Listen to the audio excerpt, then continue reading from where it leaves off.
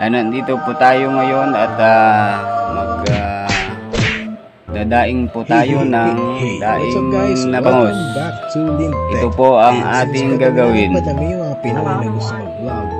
Gumawa ka ng compilation mag- of vlogging ah, sound iba effects tayo ng Pinoy vloggers. Ating bawang. mo rin yung mga sound effects na to and hindi naman sila mga copyright so don't worry. Usually kasi Maraming maraming bawang. Seriously, what the fuck are you doing? Okay, kung may request kayo ng video, Para may question kayo, or gusto sa nyo magpa-shoutout, iwan nyo lang mga daing message sa na comment section below. And as always, if nakatulong sa inyo yung video na to, please Patuloy lang tol, and good luck. Sumabaybay sa aking quick vlog para lagi kayong updated para sa pagluluto ko. At ito na ang ating bangos. Ayan na, nasa loob na ng lagyan.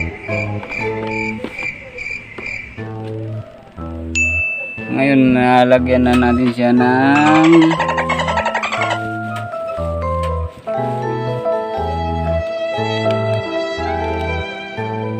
ito na yung suka. Para sa ating daing nabagas. Bangus. Dahil murang bangus yun sa palengke nagbahay tapos, sunod natin yung bawang. Ito na yung bawang patak-patak. Patak. Patak. Patak. Ping, ping, ping, ping, ping, ping. Ping, ping. Ping, ping, ping, ping. Eventually, meanwhile, one eternity later. Uh. Pagkatapos po, na bubugbura po natin ng yini sa mix para lalo pong sumarap ang lasa niya. Yini sa yini sa mix ang pampasarap ng lasa. Para maraming makain ang mga balak pampasarap palinamnam ang ating bubudburan bubudburan. Marami iuubos na natin lahat. Para lalong sumarap ang lasa. Ayan na. Pagkatapos naman ay maglalagay tayo ng pinulbos na paminta.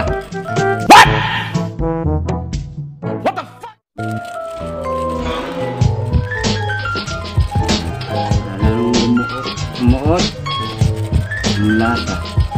Pampalinamnam ng lasa. Ayan na po ang ating daing na bangos at may kulang pa po pala. Bubudburan po natin ng konting asin. Asin. Iodized salt konting konti lang. Ping ping ping ping ping ping. Ping ping ping ping ping ping. no no ibabad po natin ng mga tatlong oras para sumuot po ang lasa sa ating daing na bangus. Mas maganda po rito eh, overnight. Para lang sumuot at malasa siya. Tatakpan po natin para ma-preserve po ang kanyang manuot lalo ang mga lasa ng ingredients. Ito na po ang ating daing na bangos. Saglit lang po. Mga 3 hours overnight. Tatakpan na po natin bago natin iprito siya mamaya.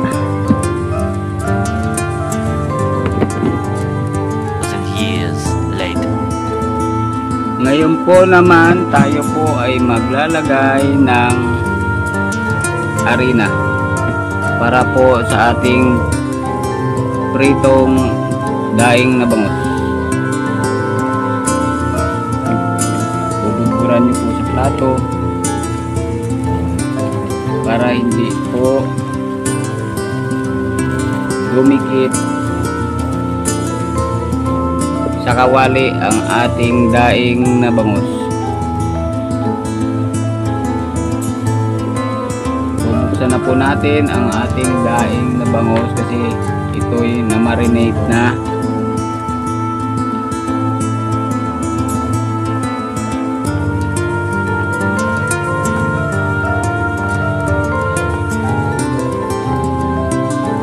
At ready to cook na. Ready to prito na.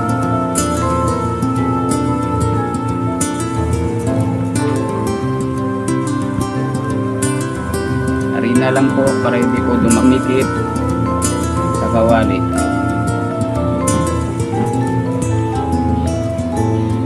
Sige lang po. Lagay lang po tayo ng lagay ng harina para sa pagprito natin mamaya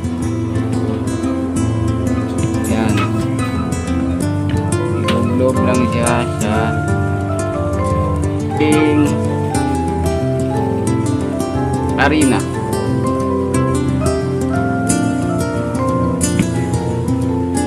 Para ready na po siya sa pag prito.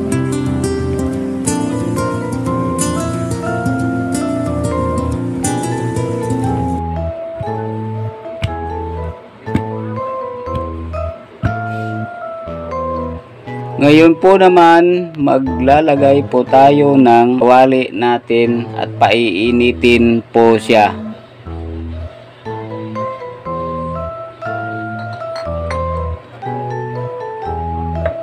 Parang mainit na nga po. Ting kawali. Saka po tayo maglalagay ng mantika. Para sa pag prito ng ating daing na bangos.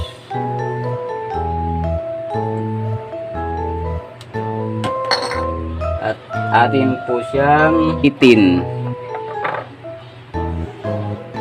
Ng minuto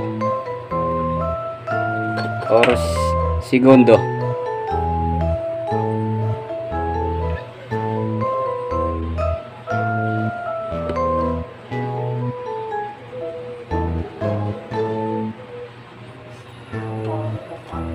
Lakasan po natin ang ating apoy para madali pong mainit ang ating mantika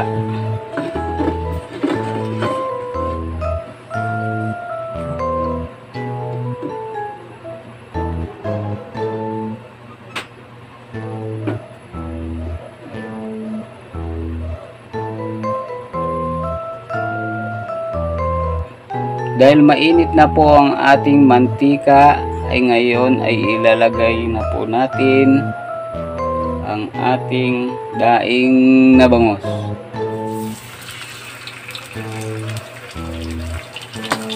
Yan na po siya. Tumatalsik po.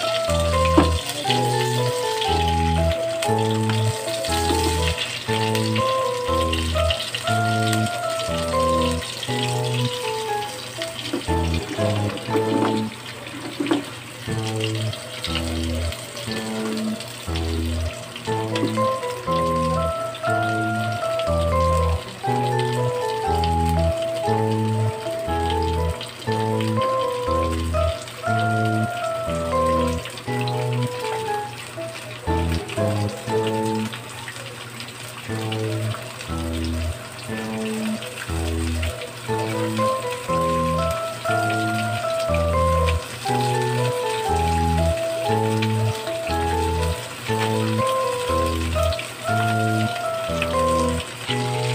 yun na nga, patuloy lang ang ating pagpiprito ng ating daing na bangos.